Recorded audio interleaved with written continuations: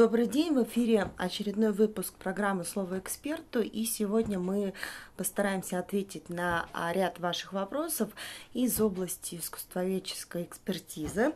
А, меня зовут Аксенюк Алисия Николаевна, я эксперт-искусствовед. А, первый вопрос а, следующий. Куда сдать картину для искусствоведческой экспертизы задали нам. Ну, а, во-первых, искусствоведческая экспертиза, она а, проводится а, для разных целей. Например, вам а, нужно узнать стоимость да, вашей работы, просто для того, чтобы в последующем знать, а, на какую цену вам надо ориентироваться, чтобы а, продать ее. Или, например, исследование может а, проводиться в целях получения справки для вывоза за рубеж. Также, например, искусствоведческое исследование в рамках проводится уголовных дел, например, при краже, соответственно, объектов. А вот. А, и а, можно сказать, что в нашей организации проводятся исследования следующего характера.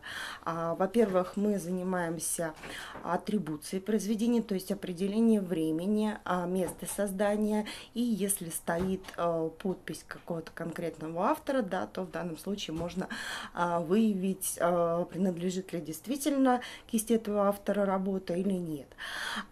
Также мы занимаемся исследованием в рамках Э, уголовных дел, а именно обычно ставится вопрос, является ли объект особой культурной ценностью поскольку статьи различаются. А единственное, что в нашей организации не проводится, это мы не делаем исследования с целью получения разрешения в дальнейшем в Министерстве культуры а, справок для вывоза за рубеж, поскольку этим занимается специально аттестованный эксперт а, от Министерства культуры. Второй вопрос. А, является ли подпись на картине а, доказательством авторства? А, ну, нет, нельзя сказать стопроцентно, что это именно доказательство авторства, поскольку история знает немало не, не случаев, когда, во-первых, ставились подписи впоследствии, когда, допустим, более именитые художники подписывали работы своих учеников, и надо сказать, что исследование подписи это просто всего лишь один из этапов исследования. А, не всегда он даже принимается во внимание, поскольку а, подпись на живописном полотне, она ставится при помощи а, краски, там нет нажима, и, соответственно, вот когда работают эксперты-почерковеды, не всегда они могут свои методики применить.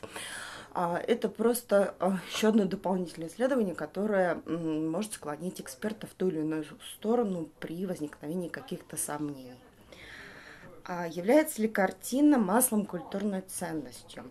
Но начнем мы с того, что культурная ценность, понятие культурной ценности – это понятие юридическое, оно у нас существует в нескольких законодательных актах, например, да, при вывозе за рубеж а, тоже определяется, является ли культурной ценностью и а, какого времени, соответственно, это изделие для того, чтобы разрешить или не разрешить.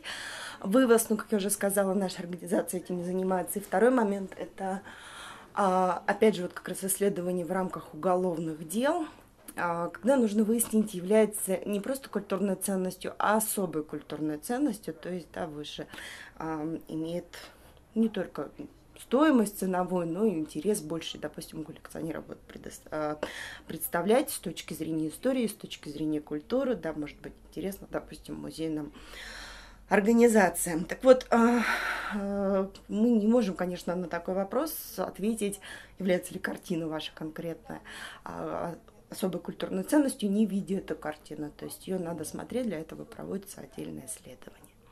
Спасибо за внимание. На сегодня все. А, если у вас а, появились вопросы, можете задать их в комментариях, либо обратиться непосредственно к нам по координатам, указанным а, на сайте.